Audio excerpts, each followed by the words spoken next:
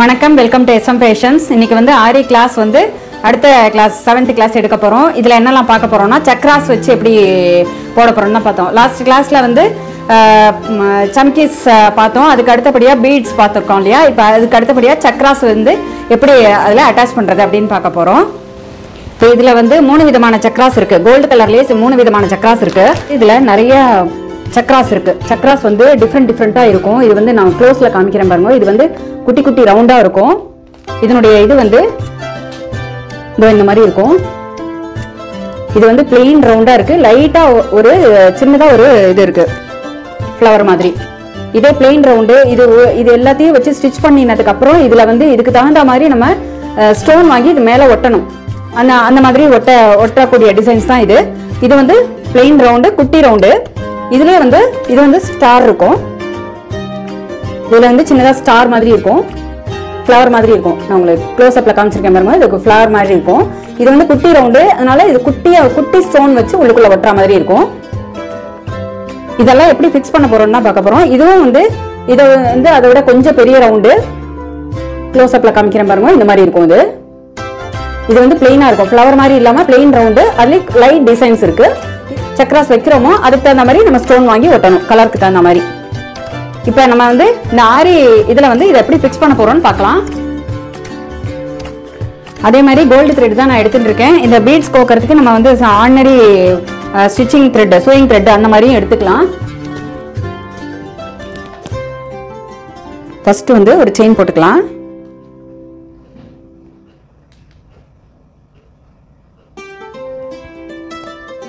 ஒரு செயின் போட்டு இன்னொரு இன்னொரு செயினும் போட்டுக்கோங்க. அப்பதான் வந்து கொஞ்சம் ஸ்ட்ராங்காக நிற்கும்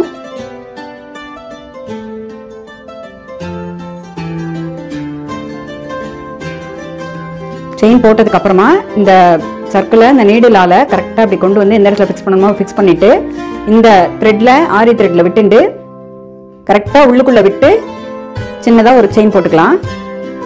இதுக்கப்புறம் போட்டதுக்கப்புறம் இது உள்ளேயே இன்னொரு செயின் வந்து கொடுத்துக்கணும். அந்த மாதிரி செயின் கொடுத்துட்டு அதுக்கப்புறமா வெளியில் கொண்டு வந்து இதை முடிக்கணும். இந்த மாதிரி போடும்போது அதாவது இங்கேருந்து இங்கே ஒரு செயின் அதுக்கப்புறம் அது உள்ளுக்குள்ளேயே இன்னொரு செயின் அதுக்கப்புறம் வெளியில் ஒரு செயின் அந்த மாதிரி போடும்போது நடுவில் வந்து ஸ்டோன் ஓட்டும்போது டைரெக்டாக இங்கேருந்து இங்கே ஒரு செயின் அப்புறம் இங்கேருந்து இங்கே வெளியில் டைரெக்டாக டைரக்டா போட்டிங்கனாக்க நடுவில் வந்து இந்த த்ரெட் வந்து ஸ்ட்ரைட்டாக நிற்கும் மேலாக நிற்கும் அப்போ வந்து ஸ்டோன் ஓட்டும்போது நமக்கு டஃப்பாக இருக்கும்.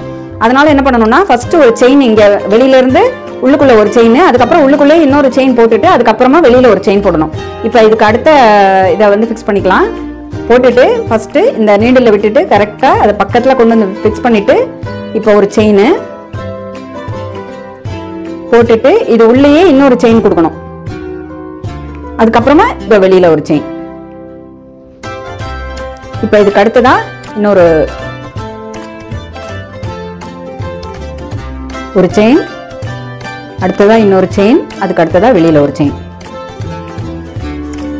இப்போ நான் இது ஸ்ட்ரெயிட் லைனில் போட்டு காமிக்கிறேன். இதே வந்து நீங்கள் சர்க்கிளாவோ ஸ்கொயராகவோ எப்படி வேணாலும் போடலாம் நம்ம. ஏன் நமக்கு வேணுங்கிறதுக்கு தகுந்த மாதிரி நம்ம அந்த செயினை வந்து போ ரவுண்டை வந்து ஃபிக்ஸ் பண்ணிக்கலாம். ஒரு ஃப்ளவர் மாதிரி கூட மேக் பண்ணலாம்.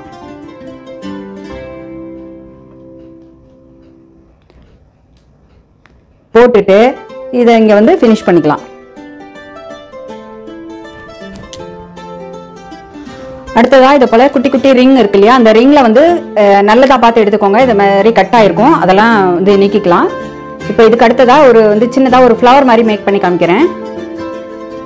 ஃபஸ்ட்டு சிங்கிள் செயின் போட்டுட்டு எப்போதுமே டபுள் செயின் போட்டுக்கோங்க. இல்லைன்னா இங்கே வந்து ஃபஸ்ட்டு லாக் போட்டுட்டு ஸ்டார்ட் பண்ணாக்க நமக்கு ஈஸியாக இருக்கும். ஒரு செயின் மாதிரி போட்டுட்டு லாக் பண்ணிக்கலாம். அதுக்கு அடுத்ததாக இங்கே ஒரு அந்த இதுக்கு சொன்ன மாதிரியே தான் இங்கே ஒரு செயின் கொடுத்துட்டு எப்போதுமே உள்ளுக்குள்ளேயும் இன்னொரு செயின் கொடுத்துட்டு தான் நம்ம வந்து வெளியில் எடுத்துகிட்டு போகணும் இப்போ ஒரு ச ஒரு இதை வந்து ஃபிக்ஸ் பண்ணியாச்சு. இதுக்கு அடுத்ததா?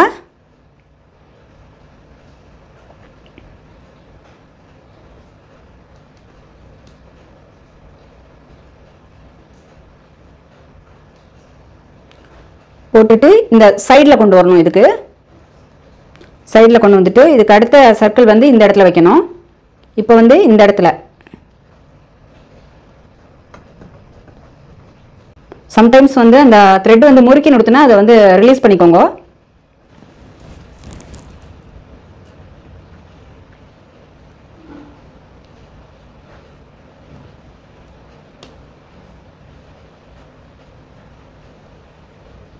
அதே மாதிரியே தான் உள்ளுக்குள்ளே ரெண்டாவது செயின் கொடுத்துட்டு அதுக்கப்புறமா வெளியில் எடுத்துகிட்டு வரணும்.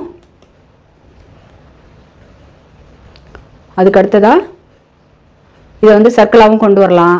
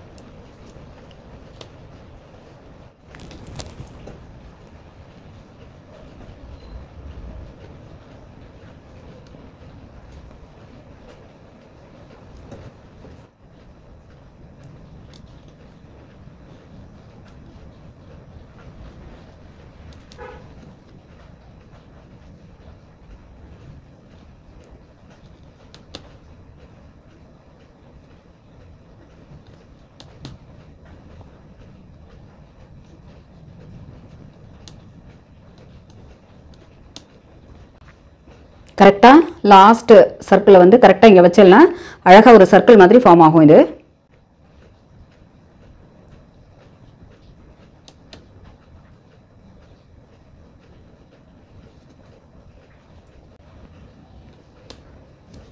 இதுக்கு அடுத்ததாக இந்த அடுத்த சர்க்கிள் முன்னாடி போட்ட சர்க்கிளில் கொண்டு வந்து அதை முடிச்சிடணும். போட்டு இதை லாக் பண்ணிக்கலாம். உள் பக்கமாக லாக் பண்ணலனாக்கா வெளியில் தெரியாமல் இருக்கும்.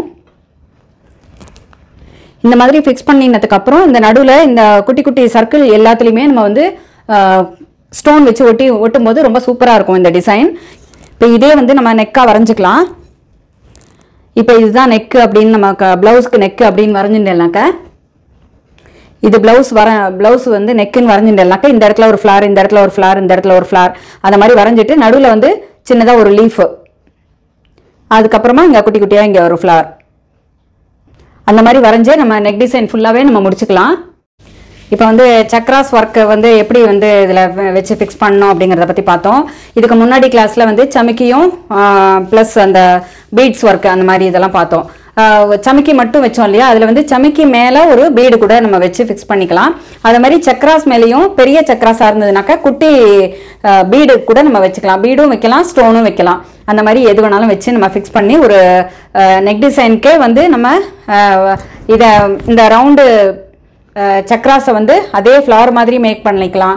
ஸ்கொயர் மாதிரி ரெக்டாங்கிள் மாதிரி என்ன மாதிரி ஷேப் வேணாலும் நம்ம வச்சு ஃபிக்ஸ் பண்ணிவிட்டு ஃப்ளவர் மாதிரி மேக் பண்ணோம்னா அதில் ஒரு லீஃப் கொடுத்து முடிக்கும் போது ரொம்பவே அருமையாக இருக்கும். நெக் நெக் பேட்டர்னுக்கு ஃபுல்லாக அழகாக ஒரு லீஃபும் ஒரு ஃப்ளவரும் போட்டு போட்டேன்னாக்க ரொம்பவே சூப்பராக இருக்கும். நீங்களும் இதே மாதிரி சக்ராஸ் வச்சு ஃபிக்ஸ் பண்ணி அது மேலே ஸ்டோனோ இல்லை பீடோ ஏதாவது ஒரு ஒர்க் வச்சு நீங்கள் ஃபினிஷ் பண்ணிவிட்டு உங்களோட எக்ஸ்பீரியன்ஸை எங்களுக்கு கமெண்ட் பாக்ஸில் போஸ்ட் பண்ணுங்க. வாட்ஸ்அப்லேயும் உங்களோட இது வந்து கொடுத்துட்டு நீங்கள் ஃபோட்டோஸ் ஃபோட்டோஸ் ஆர் வீடியோஸ் கொடுத்தேனாக்க அடுத்த வீடியோஸில் நாங்கள் வந்து உங்களோட இதையும் நாங்கள் வந்து அப்லோட் பண்ணுவோம். கண்டிப்பாக உங்களோட எக்ஸ்பீரியன்ஸை எங்களுக்கு ஷேர் பண்ணுங்கள் மீண்டும் அடுத்தது அடுத்த கிளாஸில் நம்ம சந்திக்கலாம். வணக்கம்.